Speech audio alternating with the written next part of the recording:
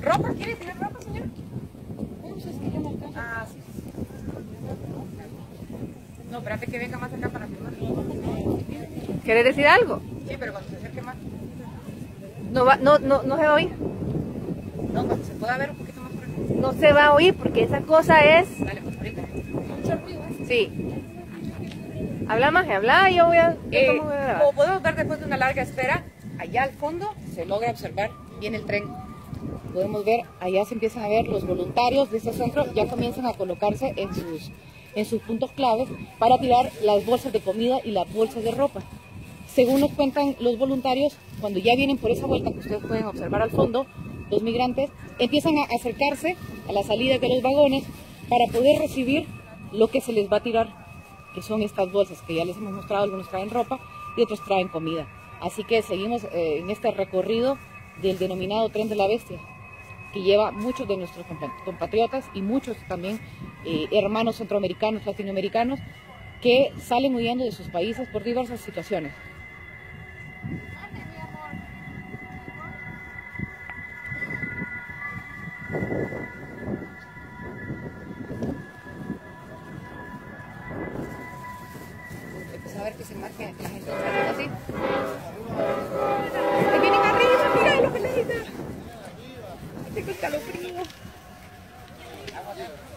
¿Y cómo es el trámite?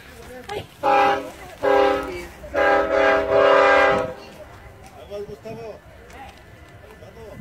Es inevitable no tener sentimientos de ver a tus hermanos que vienen ahí. Vamos a pegar la bolsa.